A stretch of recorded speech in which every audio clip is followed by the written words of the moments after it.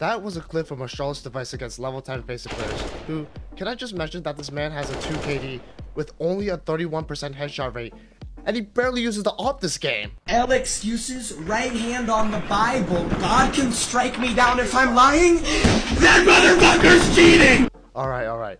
But the reason why he can rack up so many kills without utilizing a lot of mechanical skill is due to his positioning. In this series, I want to highlight aspects of pro players that don't show up on the stat sheet, but help elevate them to the next level. And today, we're going to analyze Device's old man game.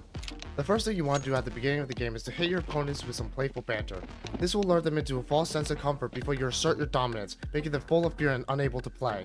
The first real round that we're going to look at is of Device saving. But we can see a cool play that he makes. His teammate is low from finding a T with a deagle in apartments, and Device uses the sounds of his teammates for loading and falling back to get a nice and easy frag, minimizing any more potential danger of facing the eco player.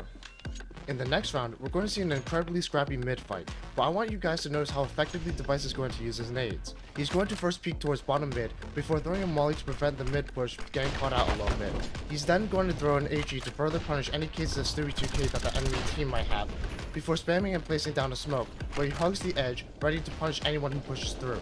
Although you could consider this a bit overkill, utilizing every bit of utility for a push that would end up never coming, it allows the Device to play around his smoke and effectively shut down the entire mid push as he rotates to be where bomb is. We can see in the overhead view that both teams end up sinking about an equal amount of utility, and that the two mid players really seem to want to fight for top mid control, which Device stops by smart usage of his utility and his positioning. Then he saves again and kills the same player pushing apps. This is top tier CS.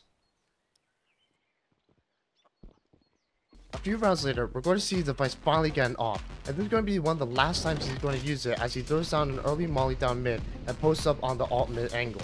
He ends up punishing a T for overexposing himself while peeking lane, but quickly gets traded out.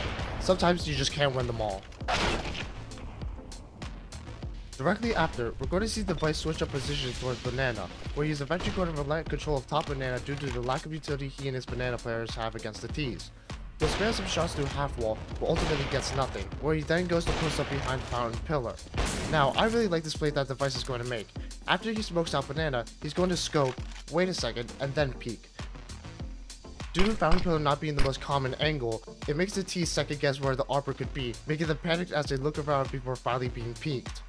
Anyways, the device is going to get one kill and get stuck in dark and die again.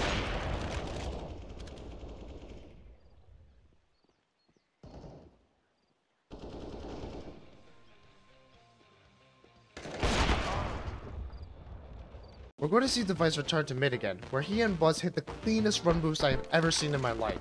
And after he sees one on T steps, he's going to set up Buzz for an aggressive mid play with a Molly and an HE before hitting some admittedly rough deagle shots on the alt mid players.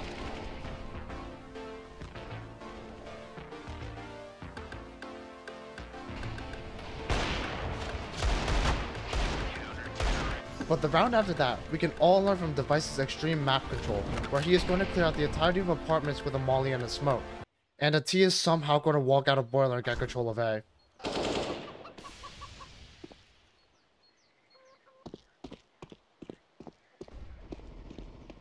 But it's alright, as Device works his way through alt mid before finally getting the last kill with body shots.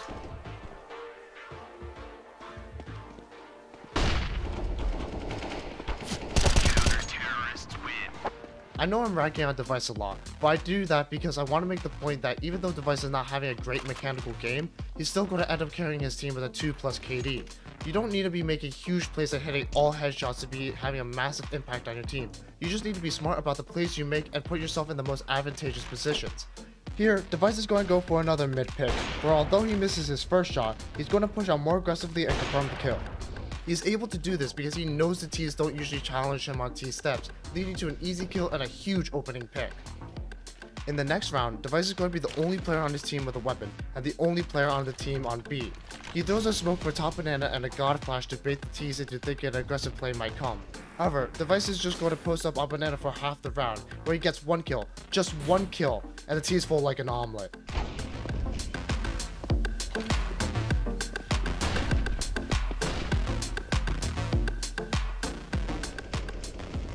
Again, Device is going to throw some very early util for top mid, allowing for more aggressive pushes, but he's going to make a beautiful play.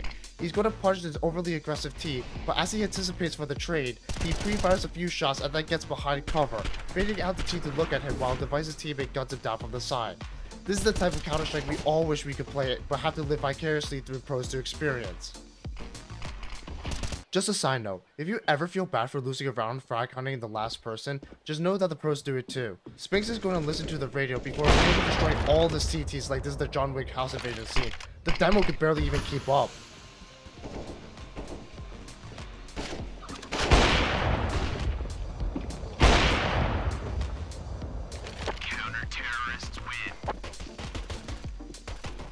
But anyways, this round, Device is going to make a great play with just pure fundamentals.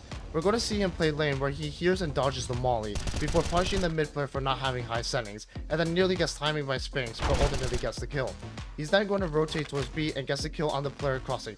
All solid textbook plays. Another important aspect that Device has mastered is the art of switching between entry and support. He's going to make the first contact for his lane, but as the T's approach site, he's going to have Buzz entry and Device is in the perfect position to trade him out. Call it baiting, but the ability to get your teammates trades is an important skill that will ultimately help you win more rounds more consistently. And we're going to see Device's perfect trade positioning again in the post plant, where his teammate will get the first kill on site, and Device is going to kill the last overexposed CT with, well, more body shots. But to end this video on a highlight, we're going to see the T's get an easy side take, where when Device sees that three of his teammates are frag hunting towards CT, he's going to go back banana with his teammate, where they're going to get a nasty stack that's basically impenetrable. And Device is going to get the final kill of this round, where it's a headshot. Wow. And that's all I have for you guys today. If you enjoyed the video, please like and subscribe. It really helps the channel as small as mine. And I'll see you guys very soon.